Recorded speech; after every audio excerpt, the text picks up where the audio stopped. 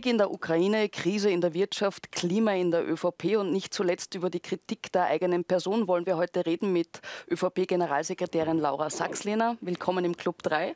Vielen Dank für die Einladung. Meine Fragen stellen heute Katharina Zwins vom Profil und Erich Vogel von der Kronenzeitung. Hallo. Frau Sachslehner, Sie kommen äh, direkt aus einer Tour rund und durch die Bundesländer ähm, zu, bei den Bürgermeistern. Jetzt einmal nicht immer auf, den, auf die Bundeshauptstadt und Wien geschaut oder möglicherweise Social Media Blasen, sondern was beschäftigt denn die Menschen außerhalb? Ja, ich habe jetzt tatsächlich die letzten zwei Tage ähm, viele Bürgermeister in der Steiermark, in Niederösterreich und auch in Oberösterreich besuchen dürfen.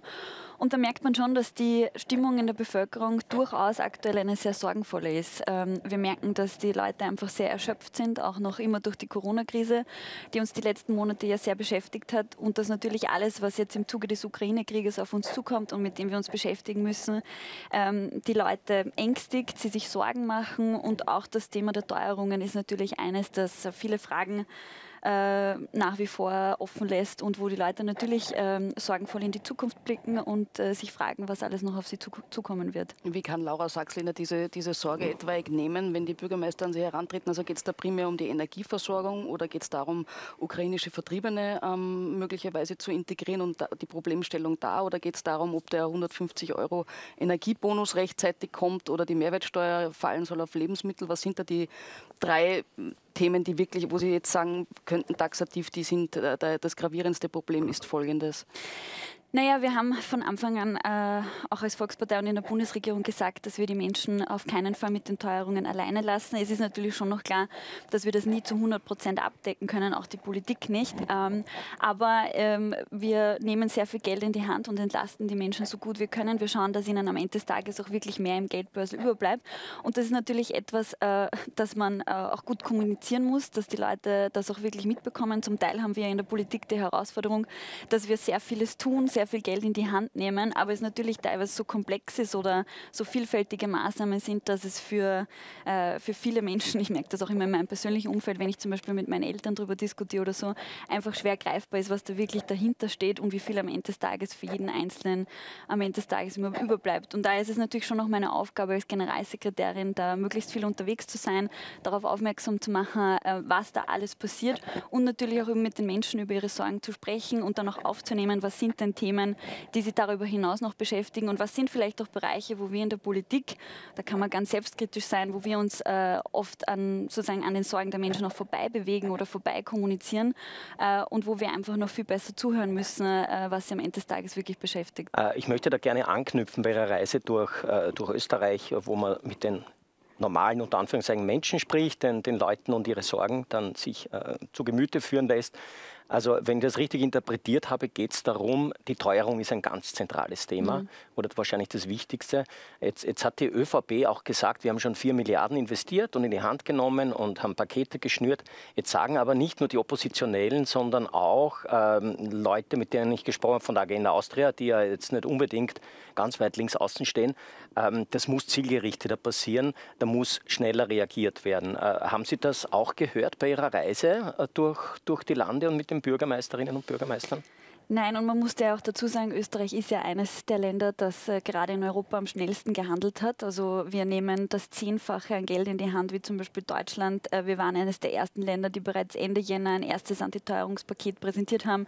Jetzt haben wir letzte Woche im Parlament das zweite beschlossen. Und es sind ja in Summe vier Milliarden Euro. Das ist ja unglaublich viel Geld, äh, das wir da in die Hand nehmen. Und wir machen das eben auch in Form von Maßnahmen, die natürlich eine Reihe von Einzelmaßnahmen sind, damit aber am Ende des Tages auch in jeder Zielgruppe, die besonders von den Teuerungen betroffen ist, also zum Beispiel Pendlerinnen und Pendler, besonders betroffene Unternehmen, Landwirte, dass das bei denen eben auch ankommt. Und was wir natürlich schon auch sagen, äh, auch als Volkspartei und in der Bundesregierung, dass wir, wenn wir merken, es wird zusätzliche Entlastungen brauchen, ähm, es wird zusätzliche Maßnahmen brauchen, dann wird man auch da natürlich dementsprechend handeln und äh, Geld in die Hand nehmen. Das ist keine Frage. Frage, ja.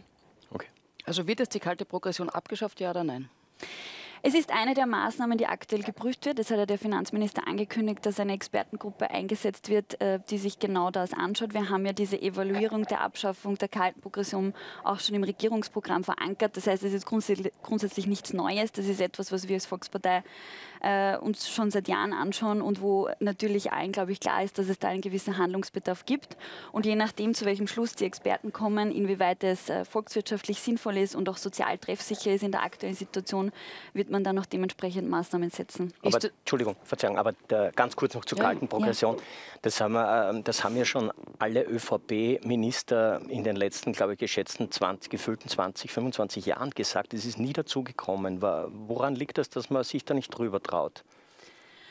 Naja, ich glaube, es macht wenig Sinn, wenn man da jetzt in die Vergangenheit schaut. Wir haben jetzt aktuell mit den Teuerungen und der Inflation und allem, was dazugehört, natürlich eine besondere Situation, äh, wo man, glaube ich, wahrscheinlich nochmal mit einem ganz anderen Druck sich diese Dinge anschauen wird. Und ich möchte schon dazu betonen, weil es jetzt also in Ihrer Frage ein bisschen um die grundsätzliche Politik der Volkspartei in den letzten Jahren geht. Es ist ja nicht so, dass wir sagen, nicht äh, die Menschen entlasten würden, nicht in der Vergangenheit äh, sehr viel Geld in die Hand genommen hätten, um das zu tun. Also wenn man sich auch zum Beispiel die Steuerreform anschaut mit 18 Milliarden Euro Entlastung.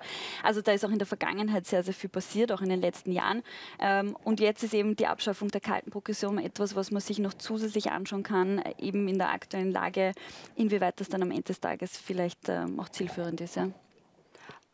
Aber wir haben jetzt weder ein konkretes Datum noch eine eigentlich präzise Antwort auf die Frage gestellt bekommen, ob das jetzt, also bekommen von Ihnen, ob das, ob die kalte Progression abgeschafft wird, ja oder nein im ersten Halbjahr beispielsweise. Weil die Krise ja. und den Krieg haben wir jetzt, wir wissen nicht, wie lange sie dauert. Die Auswirkungen werden wahrscheinlich weit länger sein, als der Krieg selbst dauern wird. Also ähm, wenn Sie, wenn Sie da schon nichts Präzises sagen können, ist es möglicherweise so, dass äh, im, im Bezug auf die Mehrwertsteuersenkung, die von äh, anderen Parteien gefordert wird, auf, auf Lebensmittel äh, möglicherweise Spielraum ist, wo Sie, wo Sie ähm, mitgehen können als ÖVP, weil Ihr ähm, Parteiobmann und der Bundeskanzler, der amtierende Karl Nehammer, hat äh, jetzt gerade beschieden, er ist für eine Gewinnabschöpfung für Unternehmen, die besonders, ähm, was die gestiegenen Energiepreise betrifft, profitieren. Das hat zu Kursverlusten von EVN und Verbund geführt. Ähm, also man macht jetzt quasi ein bisschen jede Schublade auf und schaut einmal, äh, was geht. Aber das, was die Bevölkerung am meisten ähm, ähm, gleich beträfe und ihnen helfen würde, wäre ja beispielsweise die Abschaffung der kalten Progression oder die Mehrwertsteuer und zwar das jetzt bei einer Teuerung von 7,2 Prozent und nicht irgendwann dann. Ja, ich glaube, ich muss es vielleicht noch mal konkreter ausführen, äh, was ich vorher wirklich gemeint habe. Auf der einen Seite sehen wir, dass wir bereits eine Reihe von Maßnahmen getroffen haben und dass wir schon sehr, sehr viel Geld in die Hand nehmen, um die Menschen zu entlasten. Und natürlich gibt es sozusagen jetzt äh, Diskussionen darüber, welche Maßnahmen man zusätzlich noch treffen kann in dieser Situation. Und da sagen eigentlich alle Experten, alle Wirtschaftsexperten, dass wenn wir jetzt darüber hinaus über diese Einzelmaßnahmen noch etwas tun wollen, dann ist es am sinnvollsten, wir tun das mit strukturellen Änderungen, eben wie zum Beispiel der Abschaffung der kalten Progression. Jetzt gibt es eben diese Gruppe im Finanzministerium, die sich anschaut, in welcher Art und Weise das erfolgen kann und wie weit das auch zielführend wäre. Ich kann Ihnen nur sagen, aus parteipolitischer Sicht, nachdem ich ja Generalsekretärin und keine Finanzexpertin bin, ist auf alle Fälle der Wille da, dass man sich das anschaut und dass man eben diese Abschaffung der kalten Progression, wenn es denn zielführend ist, ich sage das immer dazu, auch wirklich vornimmt. In welcher Art und Weise und in welchem Zeitplan, das müssen sich ganz ehrlich die Finanzexperten anschauen. Da traue ich mir wirklich als Generalsekretärin kein abschließendes Urteil zu. Deshalb gibt es ja Experten im Finanzministerium, die sich damit befassen. Und zu dem zweiten Aspekt, den Sie angesprochen haben mit der Mehrwertsteuersenkung, was ja von Seiten der Sozialdemokratie gefordert wird. Ähm, mit dieser Forderung kann ich ehrlicherweise überhaupt nichts anfangen, denn äh, wenn man sich anschaut, was das am Ende des Tages bedeuten würde, also zum einen gibt es auch da genug, genug Experten, die sagen, dass diese Mehrwertsteuersenkung sehr schnell wieder aufgefressen werden würde und am Ende des Tages nichts bringen würde. Und darüber hinaus ist das ja das absolute Gießkannenprinzip, denn von dieser Mehrwertsteuersenkung würde am Ende des Tages jeder profitieren und natürlich nicht nur die Menschen, die es auch wirklich brauchen. Äh, das heißt, das ist genau der Punkt, den ich vorher angesprochen habe. Deshalb gibt es in beiden Antiteuerungs Entlastungspaketen eben diese Reihe von Maßnahmen, die zum Teil einzelne Zielgruppen betreffen, wie zum Beispiel beim ersten Antiteuerungspaket besonders vulnerable Gruppen, also äh, Mindestpensionisten äh, und Menschen mit, äh, mit kleinen und mittleren Einkommen. Ähm, das ist eben die Herausforderung bei dieser Fragestellung, dass wir eben nicht einfach nur mit der Gießkanne drüber gehen und wahllos Geld ausschütten, Steuergeld am Ende des Tages, sondern dass wir eben versuchen, Maßnahmen zu treffen, die am Ende des Tages auch wirklich den Zielgruppen helfen, die es wirklich brauchen. Ich möchte jetzt ganz kurz nochmal zurückkommen auf die Treffsicherheit der Maßnahmen. Sie sind ja auf Social Media sehr aktiv. Ich denke zum Beispiel an ein Video Ende April, das Sie gepostet haben, wo Sie telefonieren, wo Sie schildern, dass Sie Bürgerinnen und Bürger anrufen, die mit ihren Sorgen an Sie herantreten. Was entgegnen Sie denn da den Leuten, die unmittelbar jetzt Hilfe brauchen, die unmittelbar jetzt spüren auch, dass alles immer teurer wird? Ja, also es stimmt, wir bekommen äh, bei uns in der Bundespartei jede Woche eigentlich tausende Zuschriften, E-Mails, äh, Briefe, Telefonate und wir bemühen uns, dass wir die Leute dann eigentlich so gut es geht alle immer zurückrufen. Also wir setzen da sehr stark auf den direkten Kontakt. Ähm, sozusagen versuchen auch E-Mails und E-Mail-Antworten zu umgehen, sondern bemühen uns, dass wir die Menschen dann auch wirklich direkt zurückrufen, weil wir eben merken, dass wir aktuell in einer Situation leben, wo so viele, so viele Sorgen und so viele Ängste da sind, dass einfach das persönliche Gespräch und der direkte Kontakt ähm, am besten funktioniert. Und da sehen wir, dass es zum einen in vielerlei Hinsicht wichtig ist, auch die Menschen darauf aufmerksam zu machen, was für Möglichkeiten gibt es, was werden eben gerade für Antiteuerungspakete beschlossen, welche Maßnahmen werden gerade ausbezahlt, was bekommen sie noch. Und natürlich gibt es auch äh, viele Fälle, wo wir sehen, dass wir, ähm, dass wir vielleicht noch nachschärfen müssen, dass es noch zusätzliche Entlastungen braucht. Und wir sehen natürlich auch, dass wir wahrscheinlich in vielen Bereichen, ich sage mal Stichwort Lebensmittel, wahrscheinlich gerade erst am Beginn der Teuerungen stehen und dann noch vieles auf uns zukommen wird. Und damit beschäftigen wir uns in der Politik natürlich rund um die Uhr ähm, und sind auch dahinter, uns das anzuschauen und äh, eben dementsprechend dann auch Maßnahmen zu treffen, die am Ende des Tages auch wirksam sind. Nur, warum ich da sozusagen die ganze Zeit äh, auf sozusagen fast schon auf Prozesse verweise, ist nicht sozusagen, dass wir im politischen Diskurs nichts tun würden oder uns nicht damit beschäftigen wollen würden, sondern dass natürlich das Thema der Teuerung unter Inflation ein so komplexes ist und eines ist, das uns in unterschiedlichen Bereichen zu unterschiedlichen Zeitpunkten betrifft. Das heißt, es ist nichts, was einmal mit einem Paket, mit einer Maßnahme erledigt ist, sondern es ist etwas, was kontinuierlich beobachtet werden muss, wo es eben ein erstes Paket gegeben hat, ein zweites Paket gegeben hat und wo wir natürlich jederzeit, wenn wir merken, es braucht zusätzlich welche Maßnahmen auch wieder äh, nachschärfen werden. Aber jetzt möchte ich nochmal, weil Sie jetzt äh, des Öfteren nochmal Lebensmittel ähm, mhm. betont haben. Ähm, wenn Sie dem Mehrwertsteuergedanken nichts abgewinnen können und wir je, und so wie Sie jetzt sagen und Experten sagen, wir bei der Teuerung, was Lebensmittel betrifft, jetzt erst am Anfang sind und nicht am Ende, ähm, was ist es dann für ein probates Mittel, ist die erste Frage. Und die daran anschließende Frage ist, braucht die heimische Regierung wirklich für jeden einzelnen Fall, ob das Corona ist oder die Finanzhilfen, ein eigenes Gremium, eine Evaluierungskommission, eine GECO? Also wer, wofür wurden dann die Politiker Politiker oder insbesondere die ÖVP gewählt, wenn ich dann erst recht wieder Expertengruppen brauche, äh, auf die ich mich dann verlasse oder eben nicht verlasse? Und wie schnell arbeiten die um, ähm, weil wenn jetzt die Menschen kein Geld haben, bis die Evaluierung mit dem Herrn Felbermeier oder anderen und den mhm. Sozialpartnern mhm. fertig ist, haben sich manche Menschen vielleicht die kaputte Waschmaschine zu reparieren nicht mehr leisten können. Ich verstehe die Frage wirklich. Ich verstehe grundsätzlich, dass ähm, das Verweisen auf Experten manchmal vielleicht äh, fast schon mühsam klingt. Wir sehen aber schon auf der anderen Seite, dass es eben diesen Ruf nach Experten und äh, nach einer fundierten Auseinandersetzung mit komplexen Fragen, dass der halt auch immer wieder lauter wird. Und ich gebe Ihnen in einer Sache recht. Am Ende des Tages müssen die Politiker die Entscheidungen treffen. Aber ich halte es schon für sehr, sehr wichtig und auch richtig, dass gerade bei so schwierigen Fragen wie zum Beispiel der Abschaffung einer kalten Progression sich sich wirklich eine Runde von Experten damit auseinandersetzt, sich überlegt, was für längerfristige Folgen wird das am Ende haben. Äh, und dann natürlich am Ende des Tages wird die Entscheidung die Politik treffen müssen ja? und wo dafür auch gerade stehen. Wo wo spüren denn Sie gerade in Ihrem eigenen Leben, dass das Leben teurer geworden ist? Naja, ich muss ehrlicherweise sagen, ich bin in der glücklichen Lage, dass äh, mich diese Teuerungen noch nicht in einem Ausmaß treffen und dass ich mir Sorgen machen muss. Ähm, ich merke es aber durchaus, wenn ich zum Beispiel ähm, mit meinen Eltern oder mit meiner Oma spreche, dass diese Themen sie tatsächlich beschäftigen. Zum Beispiel, wie viel kostet der Sprit, wie viel zahlen sie fürs Tanken.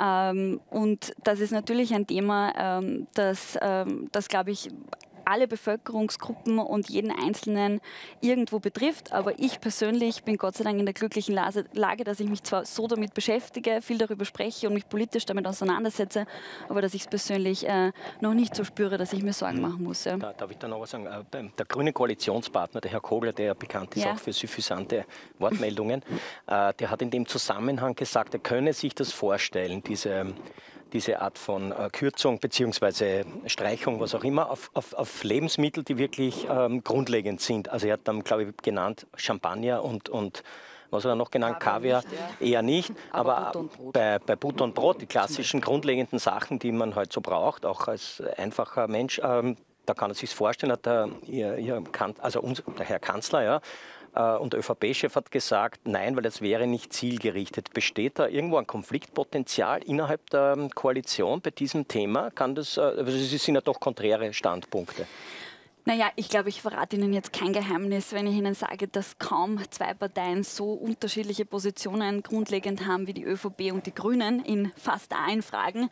Das ist das Herausfordernde an dieser Koalition. Also ähm, das ist natürlich in vielen, in vielen Themen jedes Mal der Fall, dass wir grundsätzlich mit den Grünen zu Beginn sehr, sehr unterschiedliche Meinungen haben und sehr konträre Standpunkte und dass wir dann in Verhandlungen gehen müssen, wo wir eben dann den gemeinsamen Konsens finden. Okay. Und äh, genauso ist es auch bei diesem Thema. Also ich kann die Forderung des Vizekanzlers in diesem Fall auch nicht unterstützen, genauso wie der Bundeskanzler. Aber all diese Dinge schaut man sich natürlich an und wird versuchen, Maßnahmen zu treffen, die dann am Ende des Tages bei den Menschen auch wirklich ankommen. Und ich bin mir sicher, da werden dann am Ende des Tages auch die Grünen was davon haben. Ja. Jetzt fragt man sich aber trotzdem, wenn ich da noch eine Nachfrage stellen darf, also wenn, man, wenn, wenn dann der Herr Kogler ausreitet mit, mit, mit solchen Wortspenden, könnte man vorstellen, es kommt beim Koalitionspartner nicht wirklich so fröhlich an. Sie meinen äh, bei uns? Ja, bei Ihnen, ja, genau. Ja. Ähm, da, wie, wie, wie funktioniert es dann im Hintergrund? Rauft man sich da im, Wort, äh, im Wortsinne zusammen oder wird da gestritten und sagt, warum magst du das und können wir uns nicht besser? Also ich stelle mir das ein bisschen problematisch vor, wenn, wenn ich ein gemeinsames Ziel habe, nämlich das Land zu lenken durch Krisen, ja, die ja durchaus bestehen, also schlimmer als in den letzten Jahrzehnten auf jeden Fall. Ähm, wie funktioniert dann diese, diese Art von Zusammenarbeit? Wie kann man das? Ich, ich weiß, Sie sagen, der Herr Kanzler sagt dieses, der Kogler sagt was anderes, der Vizekanzler, aber und dann findet man gemeinsame Lösungen. Wie funktioniert das in der Praxis? Äh, da muss ja, da muss ja dann hin und wieder auch einmal ordentlich die Fetzen, müssen die Fetzen fliegen, oder? Naja, grundsätzlich sind, denke ich, alle professionell genug, dass man mit unterschiedlichen Standpunkten äh, gut umgehen kann äh, und sich das dann einfach äh, ganz normal ausmacht ja, und sich einfach anschaut, sozusagen, wo ist der Kompromiss und wo ist auch die beste Lösung, die am Ende des Tages auch für die Menschen äh, das Beste rausbringt. Ähm, aber es ist keine Frage, natürlich gibt es hier und da Meinungsverschiedenheiten auch in der Koalition. Also äh, das ist in dieser Koalition so, das war auch in vergangenen Koalitionen so. Ich glaube, das ist jetzt für niemanden etwas Neues. Und wie ich es vorher schon gesagt habe, es sind die Grünen äh, und die Volkspartei natürlich ideologisch in vielen Dingen sehr weit voneinander entfernt. Trotzdem funktioniert die Koalition sehr, sehr gut, wenn man sich anschaut, was wir alles in den letzten Wochen auf den Weg gebracht haben. Also ich verweise nochmal aufs Antiteuerungspaket, aber zum Beispiel auch letzte Woche die Präsentation der Rot-Weiß-Rot-Card, die Erhöhung der Studienbeihilfe. Und ich könnte Ihnen jetzt eine halbe Stunde lang Dinge aufzählen, die wir beschlossen haben, aber ich erspare es Ihnen. Ich sage nur, rein inhaltlich gesehen funktioniert die Koalition sehr, sehr gut. Wir bringen sehr viel auf den Weg und das ist am Ende des Tages auch das Entscheidende, dass wir in der Volkspartei oder auch ich persönlich mit vielen Aussagen des grünen Koalitionspartners nicht d'accord gehe, das ist auch klar. Was war denn die letzte, wo Sie nicht d'accord gegangen sind, bis auf die Kaviar-Mehrwertsteuersenkung? Ähm, naja, ich würde es jetzt nicht an einer einzelnen Aussage festmachen. Aber ich würde es gerne an einer einzelnen Aussage festmachen. aber das ist immer so schwierig, dann ein konkretes Beispiel zu finden. Aber ich kann Ihnen äh, natürlich äh, zum Beispiel sagen, wo wir, wo wir Themenbereiche haben, wo wir uns äh, vielleicht da und da doch mehr Bewegung vom Koalitionspartner wünschen Na, würden. Ja? war mal die andere Frage. Als der Herr Nehammer zum Herrn Putin gereist ist, gab es da nachher einen, man könnte auch sagen, einen Rapport beim Bundespräsidenten. Der grüne Koalitionspartner wusste nicht über die Reise so Bescheid. Hat es dahin hinter den, hinter den, hinter den Türen des jeweils anderen möglicherweise ähm, eine lautstarke oder nicht lautstarke Unterredung darüber gegeben? Da muss ich Ihnen leider widersprechen, weil der Koalitionspartner war informiert. Ich weiß, dass es da medial andere Darstellungsformen gegeben hat, aber ich kann nur sagen, es waren alle informiert, es war der Koalitionspartner informiert, es war der Bundespräsident informiert, es waren auch auf europäischer Ebene alle handelnden Akteure informiert und insofern hat es diesbezüglich auch keine Diskussionen gegeben. Sie haben mir zuletzt ähm, ähm, auch scharfe Worte für den Koalitionspartner selbst gefunden. Ich habe es mir notiert. Sie meinten zum Beispiel, dass es in, der grünen, in den grünen Ministerien auch Vorgänge geben würde, wo parteinahe Agenturen Aufträge bekommen würden und haben das als himmelschreiende Heuchelei bezeichnet. Also so gut kann das Verhältnis ja dann auch nicht sein, wenn Sie solche drastischen Worte finden. Naja, also auch wenn wir in einer Koalition zusammenarbeiten, ist es trotzdem wichtig, dass man gewisse Dinge ehrlich und offen anspricht. Und es ist auch meine Aufgabe als Generalsekretärin, Dinge klarzustellen, Vorwürfe zurückzuweisen und natürlich auch ähm, mich von anderen Parteien abzugrenzen und uns als Volkspartei abzugrenzen. Und wenn wir uns dann anschauen, was wir da in den letzten Wochen und Monaten erleben, dass die Volkspartei ständig unter Beschuss ist, dass wir äh, sozusagen ständig mit Vorwürfen konfrontiert sind okay, schauen wir uns alles an, äh, darüber wird diskutiert, das ist in Ordnung, das halten wir aus als Volkspartei, aber genauso möchten wir natürlich auch, dass dann äh, das bei allen anderen passiert. Und da finde ich schon, dass da in gewisser Art und Weise mit zweierlei Maß gemessen wird, nicht nur grundsätzlich in der öffentlich öffentlichen Debatte, sondern vor allem auch vom Koalitionspartner, wenn man sich dann eben so Fälle anschaut, wie zum Beispiel, dass auch im Klimaschutzministerium Aufträge, Aufträge vergeben werden an äh, parteinahe Agenturen. Auch bei den Grünen gibt es in den ein, äh, einzelnen Ressorts äh, sozusagen Postenbesetzungen, die nach dem grünen Parteibuch passieren. Ähm, und da erwarte ich mir schon, dass man da genauso hinschaut und dann genauso für Transparenz sorgt. Und das habe ich mit dieser Heuchelei gemeint. Ja. In puncto Klimapolitik, weil Sie das Klimaministerium auch angesprochen haben, ähm, möchte ich noch ganz kurz auf die Stadt Wien äh, Bezug nehmen. Die Stadtstraße, die Baustelle der Stadtstraße wurde besetzt, wird besetzt. Ähm, der umstrittene Lubau-Tunnel wurde von der grünen Ministerin gestoppt. Können Sie denn die Position der Grünen in diesem Punkt verstehen?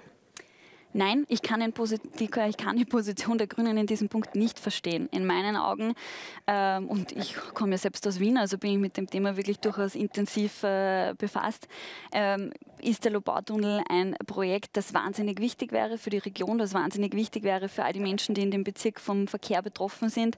Äh, ein Projekt, das unglaublich viel Entlastung bringen würde für die Menschen vor Ort. Und dass dieses Projekt gestoppt wurde seitens der Ministerin, ist etwas, das nun ja zur Kenntnis zu nehmen ist. Aber es ist auch die Ministerin jetzt gefordert, hier tatsächlich auch Alternativen und Lösungsvorschläge zu bringen, weil es einfach so zu belassen, wie es ist, äh, wird am Ende des Tages auf Kosten der Lebensqualität der Menschen vor Ort gehen und das ist nicht zu akzeptieren. Und geht es auch, Entschuldigung, geht es auch ähm, zu Lasten der Beziehung zur Koalition? Ist ja doch ein zentrales Thema, das Klimathema.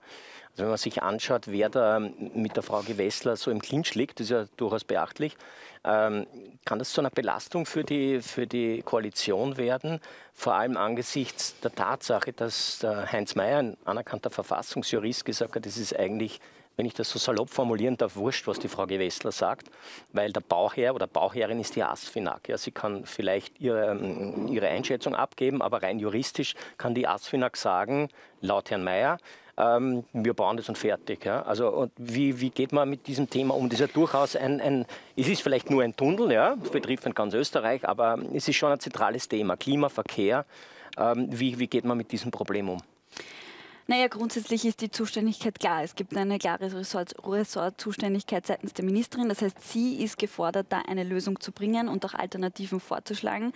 Ähm, und ich glaube ehrlicherweise nicht, dass das in irgendeiner Art und Weise zulasten der Koalition geht. Es gibt viele Themen in der Koalition, die man durchaus kritisch diskutiert und wo es sehr konträre äh, Meinungen gibt und auch äh, da und dort wahrscheinlich Differenzen. Am Ende des Tages ist das Zentrale, dass eine Lösung am Tisch liegt ähm, und da ist die Ministerin Gewessler einfach gefordert, die jetzt vorzulegen. Okay, das heißt, Sie warten jetzt, da, was, was legt sie für eine Alternative vor oder was, wie und wann bewegt sie sich sozusagen? Ich gehe davon aus, dass äh, hoffentlich in absehbarer Zeit ihrerseits da ein, eine Lösung bzw. ein Alternativvorschlag dann vorliegt. Ja. Okay.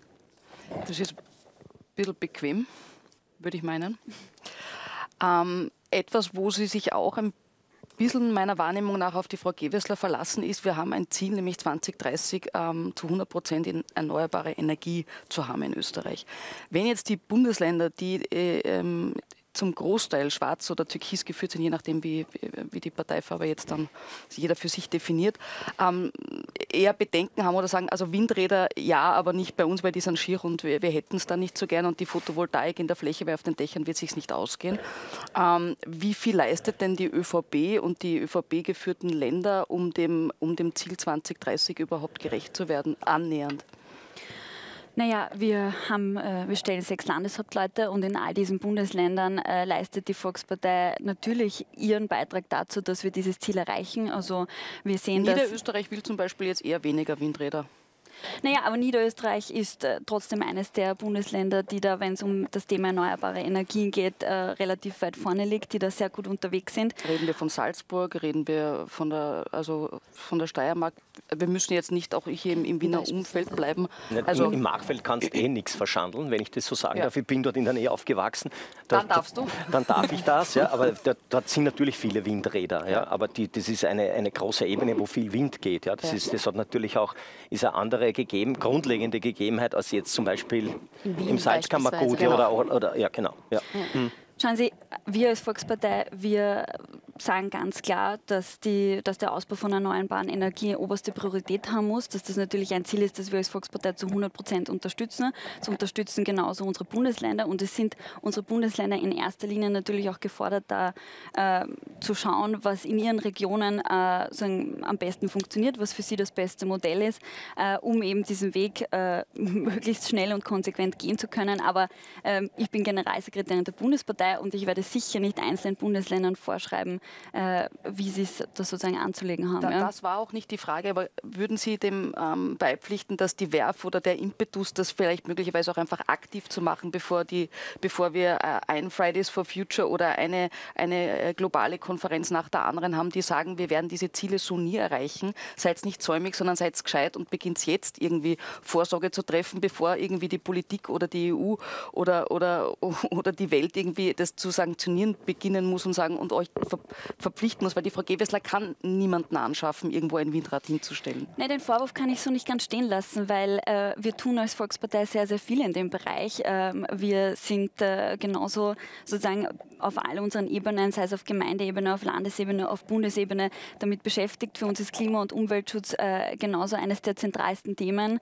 Ähm, wir sind äh, sozusagen die Ersten, die sich für den Ausbau von erneuerbaren Energie aussprechen. Wir sind diejenigen, die in Wien die ganze Zeit zum Beispiel darauf pochen, dass wir viel mehr in den Ausbau von Photovoltaik äh, oder anderen äh, Maßnahmen investieren müssen. Der Unterschied ist vielleicht, wir tragen es nicht die ganze Zeit so vor uns her und wir sagen natürlich auch, dass Klima- und Umweltschutz mit Hausverstand funktionieren muss und dass es trotzdem mit den Lebensrealitäten der Menschen einhergehen muss. Und da sind wir zum Beispiel auch schon beim Stichwort Lobautunnel wieder, weil die Debatte, die sich da herumdreht, dass man sozusagen sagt, ähm, man stoppt das äh, aus Gründen des Umweltschutzes, ähm, ist auf der einen Seite, ja, ja, okay, äh, kann man irgendwie als äh, berechtigtes Argument hernehmen. Auf der anderen Seite sehen wir natürlich schon, dass äh, es die tatsächliche Lebensrealität von Menschen gibt und dass wir sehen, dass dort Menschen im Verkehr, kann man sagen, wirklich untergehen, dass dort am, äh, in den betroffenen Bezirken am Sonntagvormittag kilometerlanger Stau zum Teil ist und äh, dass es da natürlich dann Lösungen braucht, die, die, die, die für die Lebensrealität der Menschen dann am Ende des Tages auch wirklich Entlastung bringt. Aber Sie es kam jetzt ein bisschen so vor, dass Sie jetzt den Lobautunnel gegen die Erneuerbaren äh, ausspielen Nein, und quasi, sagen, wenn, wenn die Frau Gewessler beim Lobautunnel nicht nachgibt, dann kann sie sich ihre Windräder oder das 2030-Ziel ein bisschen irgendwo hinschmieren. Nein, es überhaupt klingt nicht. ein bitte, bisschen so durch. Bitte das so nicht zu verstehen. Es ging mir einfach nur darum aufzuzeigen, wie die Debatte im, in, in, diesem, in diesem Bereich einfach geführt wird äh, und wo da vielleicht auch durchaus die Unterschiede zwischen uns und den Grünen sind, aber es geht weder um das eine, also es geht nicht um das eine gegen das andere auszuspielen spielen, sondern es geht einfach darum, wie legt man, wie legt man seine Politik an. Das heißt aber, wenn, wenn ich das äh, weiterführen darf, ganz kurz, Sie haben ja gesagt, die, Sie können den oder wollen den Bundesländern nichts anschaffen. Das heißt, die Bundesländer sind hier der Machtfaktor. Die Frau Mikl-Leitner kann sagen, ich mache das jetzt oder ich mache es nicht. Äh, genauso der Herr Schützenhöfer und wie sie alle heißen. Äh, das heißt, man, man, kann sich da auch zurücklehnen und sagen, naja, ich kann dem Schützenhöfer nicht, nicht sagen, wie viele Windräder er irgendwo hinstellen muss. Ne? Dann, dann lässt man auch den Koalitionspartner irgendwo anrennen. So, also nein, so das würde ich jetzt aus. doch wirklich als polemische Interpretation meiner okay. Aussage darstellen, weil wir sind ein föderaler Staat als Österreich und äh, da ist es sehr, sehr gut so, dass äh, durchaus unsere Bundesländer gewisse Kompetenzen haben und auch unsere Gemeinden und dass die entscheiden können, was für sie, was für ihre Region am besten ist. Äh, so funktioniert das politische System in unserem Land und ich halte das für absolut richtig. Okay. also Föderalismus ist genau das Richtige? Ja, natürlich. Äh, unsere föderalen Strukturen sind durchaus unsere Stärke in Österreich. Ja. Ich möchte jetzt ganz kurz Ihre Rolle als Generalsekretärin ansprechen, weil Sie es eben vorher auch gesagt haben, Sie sind seit Beginn des Jahres Generalsekretärin. Wie verstehen denn Sie Ihre Rolle? Generalsekretärinnen gelten ja auch äh, als Partei, als Kettenhunde sozusagen der Parteien, wenn man so möchte. Lustige Frage. Ich habe als eine der ersten Fragen bei einem meiner Antrittsinterviews hat mich eine äh, Kollegin von Ihnen, von einem anderen Medium gefragt, sind Sie eher der Schoßhund oder der Kettenhund der Volkspartei? Äh, und ich habe darauf geantwortet, ich bin keines von beiden. Äh, ich bin einfach ich und als Generalsekretärin ist es natürlich meine Aufgabe, auf der einen Seite ähm, zu kommunizieren, was die Bundesregierung tut, was der Bundesparteiobmann tut. Äh, meine Aufgabe ist es auch, mit Funktionären im Austausch zu sein, äh, einerseits sie darüber zu informieren, was bei uns auf Bundesebene eben passiert, aber auch zuzuhören, was beschäftigt unsere Funktionäre und Mitglieder im ganzen Land. Und wie ich es vorher schon erwähnt habe, ich bin natürlich auch dafür zuständig, das inhaltliche Profil der Volkspartei zu schärfen, Vorwürfe klarzustellen und, wenn nötig, äh, uns auch von anderen Parteien klar abzugrenzen. Bevor wir da jetzt ins Detail gehen, machen wir eine kurze Werbeunterbrechung und wir widmen uns der nächsten halben Stunde ganz und gar der Volkspartei, ihrer Rolle und äh, der Frage, wie korrupte möglicherweise die Volkspartei mit oder ohne neue Volkspartei ist. Bleiben Sie dran.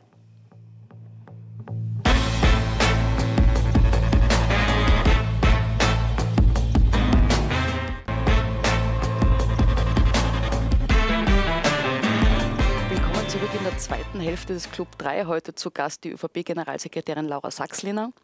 Dank. Katharina Zwins vom Profil und Erich Vogel, der das Bein deshalb so ausgestreckt hat, weil er gestern einen Disput mit seinem Hund und einem anderen Hund hatte äh, und äh, aufgrund der ärztlichen Empfehlung das Bein ausgestreckt haben muss. Das ist nicht, weil er besonders lässig ist, das ist er auch, aber äh, damit die Schmerzen gering sind. Ähm, nun wieder zurück, weg vom Lachen hin zu einem sehr ernsten Thema, Frau Sachslehner. Äh, es geht um Ihre Position innerhalb der äh, Partei, ähm, die ja auch durchaus ähm, momentan kritisch hinterfragt wird öffentlich. Ähm, und Kollegin Zwinz war am Wort. Genau, also wir haben über Ihre Funktion als Generalsekretärin gesprochen, die Sie seit Anfang des Jahres innehaben, ähm, Axel Melchior danach gefolgt sind. Wie wollen denn Sie die, die ÖVP inhaltlich weiterbringen? Wie wollen Sie, haben, Sie haben gesagt, Sie wollen auch Themen schärfen. In welche Richtung soll es denn weitergehen? Naja, ich glaube, dass grundsätzlich das Profil der Volkspartei sehr, sehr klar ist. Das ist äh, durchaus eine Errungenschaft sicher der letzten Jahre, dass ich der Meinung bin, dass die Menschen sehr gut wissen, wofür wir als Volkspartei stehen und was auch die Handschrift äh, der ÖVP in den letzten Jahren war. Aber ich sage auch, das ist etwas, was wir da und dort äh, sicher noch stärker kommunizieren müssen. Wenn man sich zum Beispiel anschaut, was ist denn äh, die Handschrift der Volkspartei in der Regierungsarbeit zum Beispiel? Äh, da sage ich ganz klar, ist es natürlich in erster Linie, dass wir Menschen mit kleinen und mittleren Einkommen entlasten, dass wir Familien in den Fokus rücken ähm, und natürlich auch ähm, die, die Abgrenzung von anderen Parteien. Was meine ich damit konkret? Ähm, dass man zuneben äh, bei, bei vielen Themen, äh, wie zum Beispiel beim Thema Klimaschutz, äh, beim Thema soziale Politik, was alles Themen sind, wo man uns als Volkspartei vielleicht von anderen Parteien absprechen würde, äh, dass das Themen sind, die uns wichtig sind, dass wir natürlich auch da Akzente Akzente setzen und äh, uns klar positionieren. Äh, das tun wir auch in unserer täglichen Arbeit, aber ich glaube, äh, es ist durchaus da oder dort sinnvoll, das noch stärker zu betonen und zu kommunizieren. Jetzt gab es ja zuletzt die Gerüchte über eine mögliche Ablöse von Ihnen. Sie haben das auch schon dementiert. Was ist, da, was ist dran an dem? Naja, wir merken, dass rund um unseren Bundesparteitag, der nächste Woche stattfindet, jetzt eine Vielzahl von Gerüchten äh, im Umlauf ist, äh, zum Teil vermutlich bewusst gestreut. Ähm, und ich habe eh schon die letzten Tage immer wieder, und auch der Bundeskanzler hat das immer wieder gesagt, dass an diesen Gerüchten nichts dran ist, äh, weder an den Veränderungen im Regierungsteam noch an den Veränderungen in der Bundespartei, auch meine Person betreffend. Ähm, es ist natürlich schade, äh, dass man sich äh, laufend mit solchen Gerüchten auseinandersetzen muss, das sage ich auch dazu. Das ist eigentlich nichts, äh, also gehört nicht zu den Dingen, die in der Politik unbedingt Spaß machen und ist eigentlich auch keines äh, der, der, ja, der Themen, Themenbereiche, für die man eigentlich auch gerne Politik macht oder für die ich in die Politik gegangen bin, aber gehört offensichtlich aktuell dazu und somit muss man, mich, muss man sich damit auseinandersetzen. Als möglicher Nachfolger, Entschuldigung, wurde ja auch der niederösterreichische Landesgeschäftsführer Bernhard Ebner genannt, der aber auch im nächsten Jahr äh, einen Wahlkampf zu schlagen hat mit Johanna Mikl-Leitner. Wie ist denn Ihr Verhältnis zur niederösterreichischen Volkspartei? Ja, sehr gut. Ich arbeite mit Bernhard Ebner als Landesgeschäftsführer in Niederösterreich sehr, sehr gut zusammen. Ich kenne ihn schon einige Jahre. Ich war ja davor davor ähm, auch Generalsekretärin der jungen ÖVP. Auch da hat man viel mit ÖVP-Landesgeschäftsführern zu tun. Äh, das heißt, das ist auch alles nichts Neues für mich in meiner jetzigen Funktion und äh, die Zusammenarbeit funktioniert da sehr gut. Und äh, ja, wir haben eine sehr starke Volkspartei in Niederösterreich, auf die wir sehr stolz sind. Sie haben auch in, Verzeihung, Sie haben auch in, ähm, die Volkspartei ist ja auch in anderen Bundesländern sehr stark. Ähm, Vorarlberg werden wir nachher noch kurz streifen, nehme ich an. Äh, jetzt hat man gehört, dass aus den Bundesländern sagt man, ja, dass das, vielleicht sind es auch nur Gerüchte, dass man sich ähm, an der Position des Generalsekretärs, Generalsekretärin ein Schwergewicht wünscht. Ja, also so also jetzt als Metapher gesehen natürlich. Mhm. Ähm, wie gehen Sie damit um, wenn Sie, wenn Sie das, Sie werden das ja auch mitbekommen haben, äh, wer die Gerüchte gestreut hat, weiß ich nicht, aber angeblich kommt es aus der Partei selbst. Die, ich glaube, der Kurier war das die ersten, die darüber berichtet haben. Ähm, wie, wie, gehen Sie damit um und, und wie kann man dagegen steuern? Ihr, muss man gleich sagen, der Herr Kanzler hat, ist natürlich sofort ausgerückt und hat gesagt, da ist gar nichts dran. Der hat Ihnen sofort den Rücken gestärkt. Aber wie kommt es zu sowas, wenn man sagt, wir sind eh so gefestigt, ähm, die Umfragen deuten was anderes an. Äh, wie, wie kommt es dann dazu und wie geht man damit um als Person? Naja, Sie sagen selbst, also der Kanzler hat das natürlich sofort dementiert und deshalb glaube ich, darf man solche Gerüchte grundsätzlich nicht überbewerten. Aber ich sage schon noch dazu, es war sicher eine durchaus mutige Entscheidung des Parteiobmanns, eine 27-jährige Wienerin in die Position, also zu fragen, ob sie die Position der Generalsekretärin übernehmen möchte. Das ist jetzt kein Geheimnis, wenn ich sage, ich ähm, schaue wahrscheinlich nicht aus wie der klassische Generalsekretär einer Volkspartei, wie man ihn sich vielleicht äh, normalerweise vorstellen wie würde. Wie stellt man sich denn den vor? Äh, ja, das äh, sozusagen äh, können Sie mir wahrscheinlich besser beantworten. Sie sind Kopf. die Kommentatoren von außen. Aber ähm, ich werde mich nicht dafür entschuldigen, dass ich eine junge Frau bin, die jetzt diese Position übernommen mhm. hat. Es macht mir sehr viel Freude. Es ist eine durchaus intensive Aufgabe, ähm, durchaus fordernd. Das ist, ähm, ja, ist glaube ich, auch allen klar. Aber mir macht es sehr viel Spaß. Äh, wir arbeiten sehr gut zusammen bei uns im Team, auch im Regierungsteam und bei uns in der Partei. Und insofern habe ich auch noch viel vor. Okay. Das heißt, Sie werden, also der Parteitag ist am, am Samstag in einer Woche genau. in Graz. Ähm, Sie werden auch danach Generalsekretärin der Volkspartei bleiben?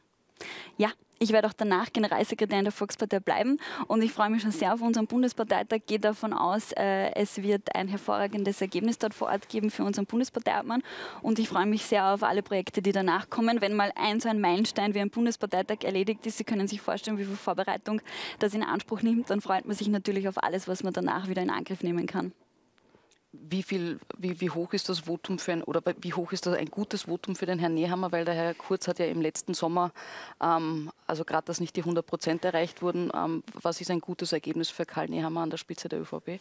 Na, ich werde mich jetzt auf keine Zahl festlegen, aber ähm, wir merken einen sehr großen Rückhalt in der Partei für Karl Nehammer. Wir haben einen sehr, eine sehr große Geschlossenheit in unserer Partei, also gehe ich davon aus, dass das Ergebnis sehr, sehr gut sein wird. Kann das auch sein, weil es in einer Mangelung an anderen Kandidaten? Nein, wir haben einen sehr, sehr starken Bundesparteimann, einen hervorragenden Bundeskanzler, der, wie gesagt, sehr viele positive Rückmeldungen bekommt. Er ist absolut der bestgeeignetste Kandidat dafür und das wird sich auch am Bundesparteitag zeigen. Ähm, beim Parteitag wird ja auch Altkanzler Sebastian Kurz dabei sein. Ähm, mhm. Zum ersten Mal seit seinem Abgang aus der Politik würde er sich öffentlich zu Wort melden. Ähm, wie ist denn Ihr Verhältnis zu Sebastian Kurz? Naja, Sebastian Kurz ist eine herausragende Persönlichkeit, der unglaublich viel für die Volkspartei in den letzten Jahren geleistet hat, dem wir auch sehr zu Dank verpflichtet sind für alles, was er in den letzten Jahren geleistet hat. Ich habe äh, nach wie vor ein sehr gutes Verhältnis zu ihm, bin hier und da auch weiterhin in Kontakt mit ihm ähm, und ich freue mich sehr, dass er beim Bundesparteitag auch dabei sein wird, dort seine, seine Abschiedsworte sozusagen halten wird, sich nochmal verabschieden wird, äh, sich wahrscheinlich auch bedanken wird für die Zusammenarbeit in den letzten Jahren und äh, dann auch zur Geschlossenheit aufrufen wird. Genauso übrigens, wie das in der Volkspartei immer Tradition war und wie das auch üblich war bei jedem Bundesparteitag in der Vergangenheit. Es ist jetzt die letzten Tage so viel darüber spekuliert worden, was das bedeutet, aber es ist üblich, dass ein Parteiobmann beim Bundesparteitag, also ein scheidender Parteiobmann beim Bundesparteitag äh, vor Ort ist, dabei ist und dort auch spricht und sich verabschiedet. Das ist bei uns Tradition und das brechen wir dieses Mal natürlich auch nicht. Tradition, Entschuldigung, Tradition hat auch bei der Volkspartei, wie wir wissen, ähm, das Absägen von, von äh, ÖVP-Chefs, Bundesobmännern. Also kann man, kann man wohl so behaupten. Ähm, jetzt, jetzt stellt sich, also wenn man so auch mit, mit ähm, ÖVP-nahen Menschen spricht und so weiter, stellt sich auch die Frage, der Herr Kurz wurde ja nicht abgesägt letztendlich, also er ist dann über diese Chats gestolpert und wurde dann, wie man hört, von den, auch von den Landeshauptleuten dazu gedrängt, äh, sich zurückzusehen oder beiseite, beiseite zu treten, wie es am Anfang geheißen hat. Es gibt aber trotzdem, jetzt komme ich wieder auf den Punkt zurück, Entschuldigung, dass ich so lange rede, ähm, dass, dass äh, ein, eventuell ein Comeback bevorstehen könnte, sollten sich natürlich alle Vorwürfe der Justiz ähm, auflösen und als äh, nicht klagbar herausstellen oder anklagefähig sein. Äh, wie, wie, wie, ist da die, die Situation innerhalb Ihrer Partei? Da wird natürlich darüber geredet, nehme ich an, oder? Ist das, ist das Thema? Naja, also Sebastian Kurz hat ja selbst jetzt neuerlich noch einmal äh, zu 100 Prozent ausgeschlossen, dass es irgendein Comeback gibt. Wir haben das auch in der Partei, in der Partei jedes Mal äh, äh, klar verneint und dementiert und das ist ehrlicherweise bei uns innerhalb der Partei auch überhaupt kein Thema. Ja. Mhm. Ähm, in der eigenen Wählerschaft wird der Obmannwechsel ja mittlerweile gutiert. Wie sehen denn Sie das? Sie sind ähm, von Karl Nehammer als Generalsekretärin eingesetzt worden, im Windschatten von Sebastian Kurz sozusagen groß äh, bekannt geworden. Äh, wie, ist, wie sehen denn Sie den Obmannwechsel? Naja, also es stimmt, ich bin in äh, einer Zeit äh, sozusagen äh, zur Volkspartei gekommen oder sagen wir so damals zur jungen ÖVP, wo Sebastian Kurz damals Bundesobmann der jungen ÖVP war. Ähm, das war damals ähm, sicherlich oder seine Politik war sicherlich einer der Gründe, warum ich angefangen habe, mich politisch zu engagieren. Ähm, das war ja damals noch zu einer rot-schwarzen Koalition, man nennt es glaube ich nach wie vor die Koalition des Stillstands und mir hat das damals einfach unfassbar getaugt, dass es Menschen gibt, die da etwas bewegen wollen, also nicht nur Sebastian Kurz, sondern viele Menschen in der jungen ÖVP, äh, die, die damals schon dabei waren, die einfach etwas verändern und bewegen wollten. Und äh, das hat mich angesprochen und so hat sozusagen mein politischer Werdegang begonnen. Ähm, und wie ich es vorher schon gesagt habe, wir haben äh, Sebastian Kurz da natürlich auch viel zu verdanken. Er hat Unglaubliches geleistet in den letzten Jahren für die Volkspartei, aber auch fürs Land. Ähm, aber genauso kenne ich auch schon Karl Nehammer seit Jahren. Er war ÖVP-Generalsekretär, wie ich JVP-Generalsekretärin war. Also auch da gibt es schon eine äh, längere Geschichte sozusagen. Wir sind auch da seit ähm, einigen Jahren gut befreundet. Und ich bin sehr froh und freue mich auch sozusagen, dass er diese Funktion übernommen hat und äh, bin natürlich auch sehr stolz äh, und freue mich sehr darüber, dass er mich eben dann vor ein paar Monaten gefragt hat, ob ich die Funktion der Generalsekretärin übernehmen möchte. Weil Sie können sich vorstellen, für jemanden äh, wie mich, der seit acht Jahren in den unterschiedlichsten Positionen in der Volkspartei engagiert ist, ist es natürlich eine unglaubliche Ehre, wenn man die Chance bekommt, äh, die Volkspartei so entscheidend äh, mitgestalten zu können. Sie haben jetzt apropos gestalten, das Logo ist ein bisschen ein anderes. Aus der neuen Volkspartei wird die Volkspartei. Jetzt ähm, haben Sie gerade gesagt, Sie sind mitunter in die Politik gegangen, weil Sebastian Kurz äh, ähm, die ÖVP angeführt hat. Ähm, das waren dann die Türkisen. Jetzt kann man dann sagen, das sind Spitzfindigkeiten, ob das die Türkisen jetzt oder die Schwarzen sind. Aber ist es nicht äh, bemerkenswert, dass gerade Sie, die durch Sebastian Kurz sozialisiert wurden, das Logo jetzt ändern, die das Neue rausnehmen und das äh, ein bisschen wenigstens optisch nach einem nach einer Trennung oder Emanzipation des ehemaligen Kanzlers ähm, klingt? Nein, in keinster Weise. Wir bleiben. Aber warum, warum war das notwendig überhaupt? Man könnte ja alles beim Alten lassen, das kostet alles Geld, apropos Teuerung und Nachhaltigkeit. Also es ist ja es ist relativ naja, wurscht. Das macht nur mehr Schlagzeile, ob sie sich jetzt mehr schwarz oder mehr türkis fühlen unter Nehammer. Naja, wir bleiben ja türkis. Wir haben das Logo eigentlich nur ganz leicht weiterentwickelt. Wir haben es einfach, äh, man kann sagen, modernisiert und aktualisiert, so wie es äh, in vielen Bereichen mit Logos immer wieder der Fall ist, äh, wo es einfach darum geht, sie an Bei die Zeit an. selten, verzeihen Sie, dass ich Sie unterbreche. Ja, aber also sagen, äh, das ist der einzige Hintergrund des Ganzen, dass wir das Logo einfach aktualisieren, modernisieren und anpassen wollten. Es sind ja auch wirklich, also entschuldigen Sie, ich bin keine Grafikerin, ja, aber ich glaube auch rein optisch wirklich nur minimale Veränderungen. Aber warum machen wir es dann? Äh, nein, es geht einfach um eine behutsame Weiterentwicklung des Logos und dass man es einfach äh, modernisiert und anpasst. Ähm, es ist ja am Bundesparteitag auch immer ein, ein guter Zeitpunkt für sowas, mhm. ähm, weil es natürlich ein, sagen, immer auch ein, ein, ein neues Kapitel in gewisser Art und Weise einläutet. Und das ist der Hintergrund. Aber ich würde all diese ganze Diskussion um mhm. Logos und all diese Dinge wirklich nicht überbewerten. Am Ende des Tages ist ja das entscheidend, was dahinter steht und das sind die Inhalte und die sind gleich geblieben. Genau, dann kommen wir, ich möchte trotzdem eine, eine Spitzfindigkeit sein mag, ja. um Ihren ehemaligen Kanzler zu zitieren, der es im juristischen Kontext getätigt hat. Äh, wenn man sich das neue Logo anschaut, dann ist es zwar noch immer türkis, so ein Streifen, aber es ist viel weniger türkis. Das heißt jetzt Volkspartei, für mich klingt es doch ein bisschen, verzeihen Sie den Ausdruck, auf eine Rückbesinnung und nicht Weiterentwicklung, nämlich Rückbesinnung. Wir sind wieder nach dieser, äh, sagen wir doch, eher turbulenten Phase äh, von Herrn Kurz und, und, und seinen Freunden Jetzt, jetzt, sind wir wieder eher bei umfragemäßig weiter unten und jetzt besinnen wir uns zurück auf die alte ÖVP. Ist das nicht ähm, auch ein Signal, das da gesendet werden soll? Und darf ich die Frage mit einem untermauern? Wir hatten einen Parteitag in Niederösterreich. Die äh, Johanna Mikl-Leitner hat, die verpassen sich eigene Statuten. Die Farben waren äh, blau-gelb. Ich weiß schon, das hat mit den Landesfarben was zu tun. Aber es mutet schon alles ein bisschen danach an, als würde sich jetzt jeder ein bisschen von dem emanzipieren, wie es der Kollege Vogel gesagt hat, was der Herr Kurz ähm, ins Treffen geführt hat und wie er die Partei geführt hat. Nein, in keinster Weise. Also ich sage das auch gleich dazu. Wir sind sehr stolz auf unsere Vergangenheit. Wir sind stolz auf die letzten äh, vier Jahre, auf alles, was die Volkspartei da bewegen und leisten konnte. Das möchte ich schon einmal ganz klar ausgesprochen haben. Und im Hinblick auf das Logo, ähm, also ich kann wirklich nur von Details sprechen, ja. Also ich glaube, der türkise Strich im Logo ist eigentlich noch genauso dick, wie er vorher war. Wir haben ihn nur von unten nach oben gesetzt. Also es ist wirklich eine minimale Veränderung. Okay. Es hat keinerlei politische Botschaft in diesem Sinn. Es geht einfach nur um optische Dinge äh, und um eine, einfach eine Weiterentwicklung des bisherigen Logos. Ich würde es insofern wirklich nicht überbewerten und ähm, ich kann Ihnen so viel schon ankündigen, Sie werden auch beim Bundesparteitag merken, dass Sie uns in keinster Art und Weise von irgendeiner türkisen Farbe abgrenzen. Ich möchte jetzt ein Thema ansprechen und zwar in den letzten Tagen und Wochen standen Zahlungsflüsse der ÖVP, also in der ÖVP und nahestehenden Organisationen im Fokus der Öffentlichkeit. Etwa wenn man nach Vorarlberg blickt zum Vorarlberger äh, Wirtschaftsbund. Ist das denn eine gute Praxis Ihrer Meinung nach, wenn öffentliche Betriebe oder Kammer, Kammer äh, Entschuldigung, Innungen ähm, in Parteizeitungen inserieren? Naja, also das Thema muss man schon differenziert betrachten. Äh, wir sehen auf der einen Seite, dass es da Vorwürfe gibt gegen den Landeshauptmann und auch gegen die Vorarlberger Landespartei, die natürlich aufgeklärt werden müssen. Es ist keine Frage, das hat sowohl die Landespartei als auch der Landeshauptmann von Anfang an zugesichert und da sollen einfach die zuständigen Institutionen ihre Arbeit tun. Was ich aber schon dazu sagen möchte, dass das grundsätzliche Skandalisieren von Inseraten als solches, davon halte ich nichts. Inserate per se sind nichts Schlechtes, solange das alles rechtens abbrennt, es äh, klar definierte äh, sozusagen sozusagen Gegenleistungen und auch Summen gibt äh, und das alles sozusagen sauber abbrennt, dann gehören Inserate durchaus in der Kommunikation dazu, auch in der politischen Kommunikation. Und da glaube ich nicht, dass es notwendig ist, da immer von einem Skandal zu sprechen. Entscheidend ist natürlich, dass alles immer sauber abläuft, aber äh, der, äh, der, Landeshauptmann und die Vorarlberger Landespartei haben da zugesichert, dass sie sich an jeder Aufklärung beteiligen, legen ja auch alles offen auf den Tisch, soweit ich weiß.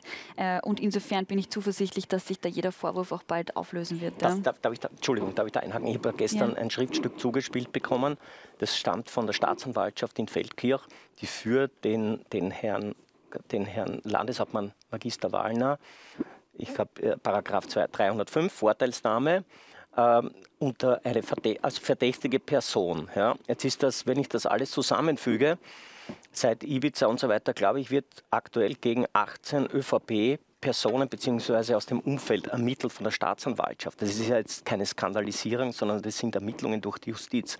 Ähm, wie, sehr, wie, wie kann man dann noch sagen, die ÖVP, so wie es der Herr Nehammer gesagt hat, habe kein Korruptionsproblem. Ist das dann noch glaubwürdig irgendwann? Ja, natürlich, weil dieser Vorwurf oder dieser Generalverdacht, der gegen uns als Volkspartei da immer wieder geäußert wird, äh, der ist natürlich aufs Schärfste zurückzuweisen und entspricht überhaupt nicht den Tatsachen. Und ja, äh, Sie haben recht, es gibt durchaus Ermittlungen, die gegen Vertreter der Volkspartei ähm, geführt werden, auch gegen ehemalige Verantwortungsträger. Aber wir merken genauso sehr, äh, dass eigentlich auch jede Woche Anzeigen und Ermittlungen gegen Vertreter der Volkspartei eingestellt werden. Also wir merken, dass die siebte Anzeige gegen Gernot Blümel eingestellt wurde, die fünfte Anzeige gegen Wolfgang Sobotka. Äh, und da, Entschuldigung, da muss ich auch darauf hinweisen, das sind dann Dinge, über die am Ende des Tages kaum oder nur sehr wenig berichtet wird, äh, was natürlich auch eine gewisse Scheinheiligkeit in der Debatte dann mit sich bringt. Und ähm, auch jetzt in diesem Fall, also um auf Vorarlberg zu sprechen kommen, äh, gibt es Vorwürfe. Ja, das soll natürlich äh, alles aufgeklärt werden. Da soll die, die äh, Staatsanwaltschaft auch ihre Arbeit tun können. Sie soll ermitteln, sie soll sich das anschauen. Das ist keine Frage. Also wir als Volkspartei verwehren uns in keinster Weise dagegen irgendwelche Ermittlungen. Ähm, aber wie gesagt, wir sehen eben, dass sich viele dieser Vorwürfe in der Vergangenheit gegen viele Vertreter der Volkspartei auch immer wieder in Luft aufgelöst haben.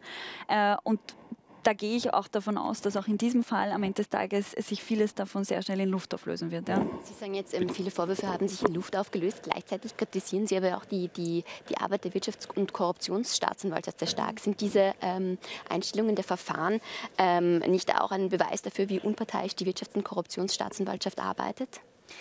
Naja, wir merken, ähm, dass im Justizbereich ja in den letzten Wochen und auch in Bezug auf die WKSDA immer wieder sozusagen jetzt hm, Berichte äh, geäußert werden oder ähm, betroffene Personen sich auch medial lautstark zu Wort melden und da auf Missstände hinweisen. Also wir haben einerseits die Aussage der ehemaligen Staatsanwältin Poppenwimmer im Urschuss erlebt, wo sie von äh, einer unglaublichen äh, parteipolitischen ja, Arbeit in der WKStA spricht oder sagen wir es mal so von äh, ja also von Zellen, wie es der Herr Hanger sagt.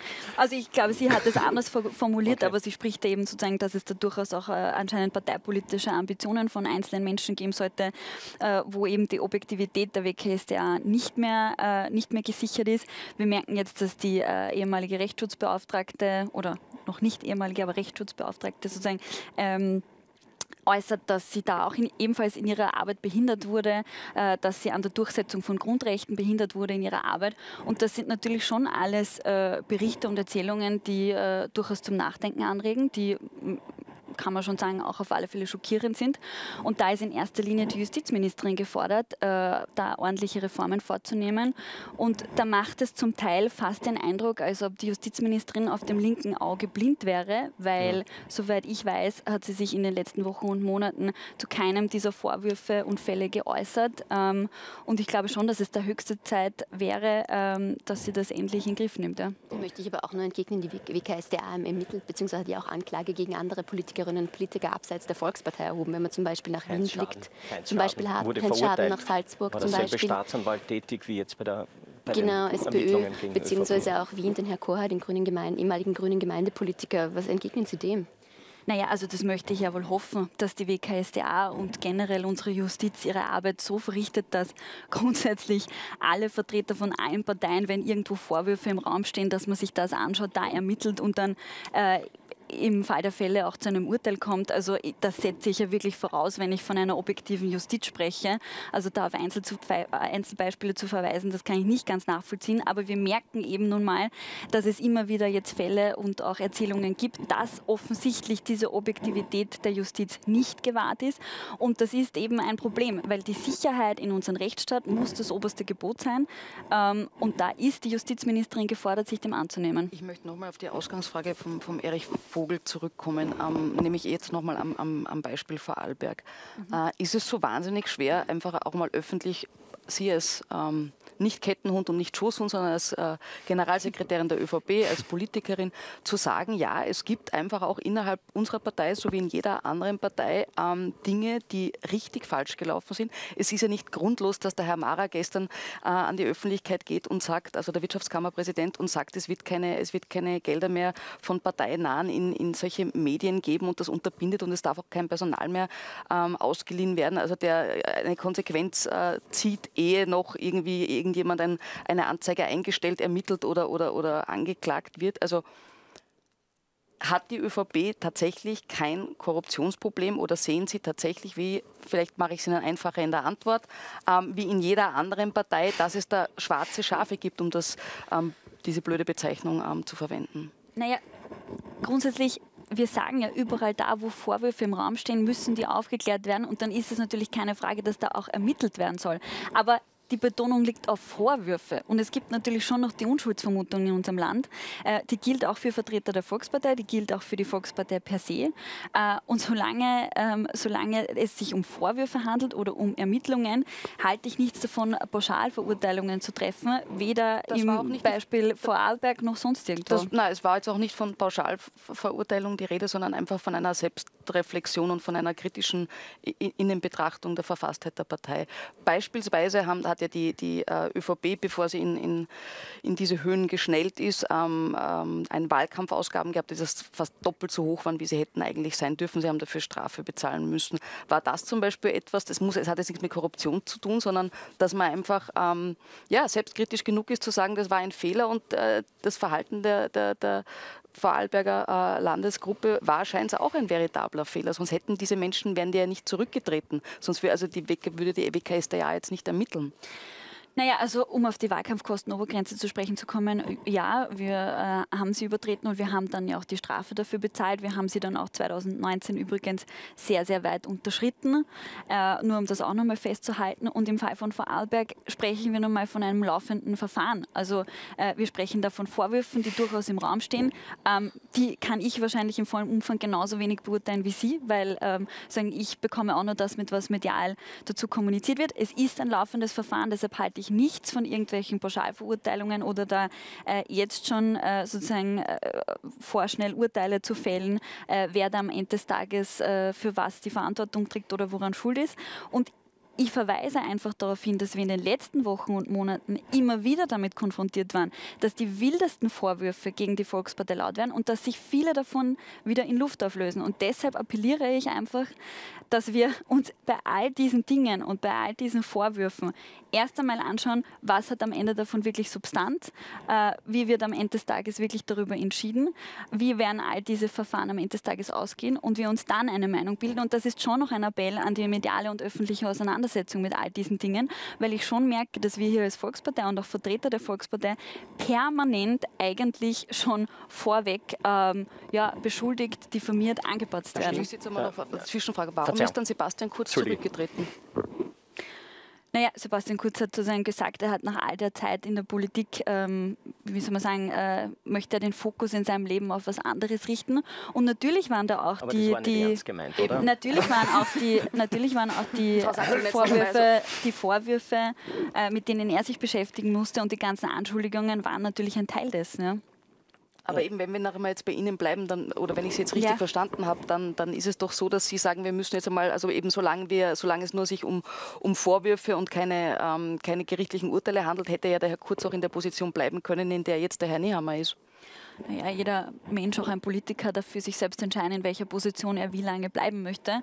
Äh, Und Sebastian Kurz hat diese Entscheidung für sich selbst getroffen und äh, das ist zur Kenntnis zu nehmen. Das ist also, zur Kenntnis zu nehmen, aber wenn wir jetzt bleiben wir bei dem Thema Rücktrittskultur ganz kurz noch. Ja. Es ist vor kurzem der CSU-Generalsekretär, den der Herr, der mächtige Herr Söder extra installiert hat, auf seinen Wunsch zurückgetreten, weil er einen einen bunte Reporter äh, äh, am Telefon bedroht haben soll oder per Mail, ich mach dich fertig. Ja. In Österreich, der Herr Grasser, für den gilt noch immer die Unschuldsvermutung seit 2009. Ja. In Österreich gibt es keine Art von Rücktrittskultur. Der Herr Kurz, da sind wir uns ja einig, wurde dazu genötigt quasi. Ja? Äh, Wahrscheinlich auch von den Bundesländern letztlich. Also das ist ist meine Interpretation. Interpretation, also meine, die, ja. die Geschichte mit der Um Familie, die, die glaube ich, die kann er vielleicht seiner Oma erzählen. Äh, Das glaube ich ihm, glaube es ihm nicht. Es wird trotzdem ermitteln. Und wenn wir warten, bis alle Ermittlungen fertig sind, dann, ähm, dann brauchen wir, aber das ist auch eine Kritik an der Justiz, da bin ich bei Ihnen, ja, dass es viel zu lange dauert und dass auch Sachen eingestellt werden, gebe ich Ihnen völlig recht, das ist auch unsere Schuld als Medien. Ich, bin da, ich nehme mich da nicht aus, weil es ist immer der große Aufschrei und Schlagzeile Ermittlungen gegen, bleiben wir beim Beispiel Blümel, ja, und wenn was eingestellt wird, dann ist es vergleichsweise klein. Völlig, bin ich völlig d'accord bei Ihnen. Ähm, aber wir haben jetzt diese Woche gehabt, ein Ranking, ein internationales von Reporter ohne Grenzen, wo Österreich um 14 Plätze abgesagt ist, bei der Pressefreiheit zum Beispiel. Korruptionsrankings sind auch abgesagt. Wir sind jetzt dort hinter Namibia und Osttimor. Nichts gegen die Länder, die sind, die sind sicher schön. Oder Jamaika, keine Frage. Aber ist das, ne- gibt das nicht zu denken, wenn man sagt, wir warten jetzt, bis die Vorwürfe alle geklärt sind und sonst ist eh alles super sauber? Naja, wir leben in einem Rechtsstaat und Ja, da sagen, wird zuerst ermittelt und wenn man erst rechtskräftig verurteilt ist, sozusagen äh, gelten die Anschuldigungen als bewiesen. Und Insofern entschuldigen Sie, dass ich das sage, aber ich finde sozusagen die- Debatte darüber ein bisschen absurd, weil es ist natürlich klar, dass auch Politiker, gegen die ermittelt wird oder gegen die es Anschuldigungen gibt, ja, auch da gilt die Unschuldsvermutung. Und auch da sollte nicht jeder Politiker sofort zurücktreten müssen, nur weil irgendwo Vorwürfe laut werden. Das ist ja dann etwas sozusagen, und da merken wir, also das ist genau das ist der springende Punkt, weil genau das merken wir, dass mittlerweile in der politischen Auseinandersetzung in erster Linie von Seiten der Opposition mit Anzeigen gearbeitet wird. Da wird in erster Linie sofort der politische Mitbewerber Bewerber angezeigt, angepatzt, man versucht ihn schlecht zu machen, man versucht ihm zu unterstellen, er hätte irgendeine Straftat begangen. Das trifft vor allem uns jetzt als Volkspartei ganz massiv. Auch ich persönlich habe ein Beispiel. Ich habe vor äh, wenigen Wochen geäußert, dass es im Burgenland, bei der SPÖ Burgenland offensichtlich den Verdacht auf illegale Parteienfinanzierung gibt und habe einfach nur appelliert medial, dass man sich das anschauen möge. Äh, zwei Tage später wird mir sofort von Seiten des Landeshauptmanns mit einer Klage gedroht. Und das ist natürlich schon mittlerweile fast, äh, glaube ich, für viele Vertreter der SPÖ und der NEOS eine Art politisches Stilmittel. Und das ist absolut zu hinterfragen und auch zu verurteilen. Wir sind jetzt hier bei der generellen Frage, einfach ob für Politikerinnen und Politiker einfach ein anderer Maßstab angelegt werden soll. Natürlich gilt die Unvermut Unschuldsvermutung, das ist ganz klar. Aber ein Politiker, eine Politikerin ist ja auch immerhin ein Vorbild für, für die Öffentlichkeit. Natürlich, ich verstehe auch, dass äh, man sich von Politikern grundsätzlich ähm, höhere Standards erwartet, dass wir Vorbildfunktionen haben, äh, dass auch Mitglieder der Bundesregierung Vorbildfunktionen haben. Ähm, Aber trotzdem, und darauf möchte ich verweisen, ähm, auch für Politiker gilt die Unschuldsvermutung und wenn Vorwürfe laut werden, dann sind die natürlich äh, zu hinterfragen, dann muss man sich das anschauen. Aber bei dem, was wir jetzt aktuell erleben, was in den letzten Wochen und Monaten immer wieder publik wurde, eben gegen Vertreter der Volkspartei, möchte ich ja schon davon sprechen, dass das in gewisser Art und Weise glaube ich, System hat und einfach das Ziel verfolgt, am Ende der Volkspartei zu schaden. Äh, und da werden wir als Volkspartei natürlich uns auch dagegen wehren und äh, verweisen auch jedes Mal auf die tatsächlichen Fakten und stellen dann diese Dinge auch klar. Frau Sachsliner, danke Ihnen vielmals fürs Kommen. Eine Abschlussfrage sei mir noch gestattet. Ich glaube, Sie werden in zwei Wochen 28. Ist der 28. Mai in zwei Wochen oder drei Wochen? Aber ja, Ende Sie Mai. haben ja. in einem Kurier-Interview mit meinem Kollegen Christoph Schwarzer mal auf die Frage, ob Sie in der Politik bleiben oder Ihr Leben lang bleiben werden, Nein gesagt. Ähm, wie alt werden Sie sein, wenn Sie aus der Politik rausgehen? Naja, also äh, aktuell macht mir die Politik sehr viel Spaß. Ich bin ja auch Landtagsabgeordnete und Gemeinderätin in Wien. Äh, das äh, macht mir sehr viel Freude. Und ich habe vor, das jetzt noch eine Zeit lang weiterzumachen. Aber ich sage es Ihnen ganz ehrlich, längerfristige Pläne in der Politik zu machen, hat noch nie gut funktioniert. Und an das halte ich mich ebenfalls. Alles Ja, klar. danke. Danke Ihnen vielmals. Dankeschön. Danke, Danke Erich sehr. Vogel. Danke, Danke. Katharina Zubitz. Danke. Danke. Und Ihnen danke fürs Zuschauen.